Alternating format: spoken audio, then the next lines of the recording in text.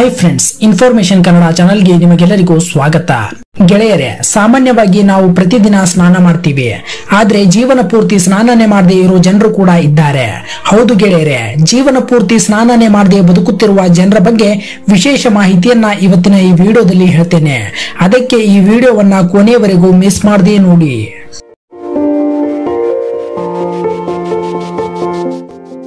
ಗೆಳೆಯರೇ ಆಫ್ರಿಕಾ ಖಂಡದಲ್ಲಿ ಬರುವ ಉತ್ತರ ನಮೀಬಿಯಾದ ಕಾಡುಗಳಲ್ಲಿ ವಾಸಿಸುವ ಹಿಂಬಾ ಬುಡಕಟ್ಟಿನಲ್ಲಿ ಈ ರೀತಿಯ ಆಚರಣೆಯೊಂದು ನಡ್ಕೊಂಡು ಬರ್ತಾ ಇದೆ. ಮುಖ್ಯವಾಗಿ ಈ ಸಮುದಾಯದಲ್ಲಿರುವ ಮಹಿಳೆಯರು ಸ್ನಾನಾನೇ ಮಾಡೋದಿಲ್ಲ.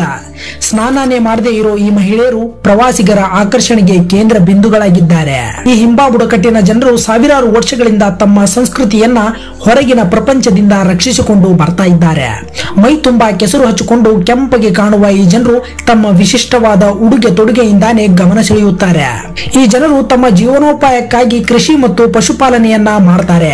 ಹಾಗೆ ಬೇಟೆಯನ್ನ ಸಹ ಆಡ್ತಾರೆ. ಒಂದು ಅಂದಾಜಿನ ಪ್ರಕಾರ ಐವತ್ತು ಸಾವಿರಕ್ಕಿಂತ ಹೆಚ್ಚಿನ ಜನಸಂಖ್ಯೆಯನ್ನ ಈ ಸಮುದಾಯ ಹೊಂದಿದೆಯಂತೆ. ಈ ಹಿಂಬಾ ಸಮುದಾಯದ ಮಹಿಳೆಯರು ತಮ್ಮ ಇಡೀ ಜೀವನದಲ್ಲಿ ಕೇವಲ ಒಂದೇ ಒಂದು ಬಾರಿ ಸ್ನಾನ ಮಾಡ್ತಾರೆ. ಅದು ಕೂಡ ಅವರ ಮದುವೆಯ ಸಂದರ್ಭದಲ್ಲಿ ಮಾತ್ರ. ತದನಂತರ ಈ ಮಹಿಳೆಯರು ತಮ್ಮ ಇಡೀ ಜೀವನದುದ್ದಕ್ಕೂ ಸ್ನಾನನೇ ಮಾಡೋದಿಲ್ಲ.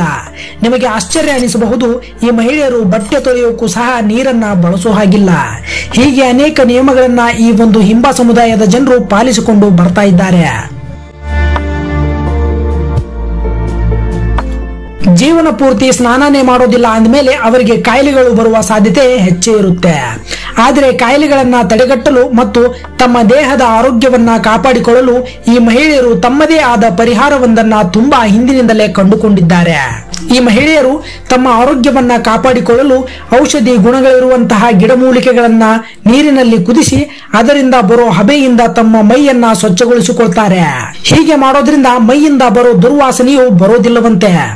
ಅದೇ ರೀತಿ ಈ ಮಹಿಳೆಯರು ತಾವೇ ತಯಾರಿಸಿದ ಬಾಡಿ ಲೋಷನ್ ಒಂದನ್ನ ತಮ್ಮ ಮೈ ತುಂಬಾ ಹಚ್ಕೊಳ್ತಾರೆ. ಈ ಬಾಡಿ ಲೋಷನ್ ಅನ್ನ ಪ್ರಾಣಿಗಳ ಕೊಬ್ಬಿನಿಂದ ಮತ್ತು ಇನ್ನಿತರ ಲವಣಾಂಶಗಳಿಂದ ಮಾಡಿರ್ತಾರಂತೆ. ಇದನ್ನ ಹಚ್ಕೊಂಡಾಗ ಇವರ ಮೈ ಪೂರ್ತಿಯಾಗಿ ಕೆಂಪಗೆ ಕಾಣುತ್ತೆ.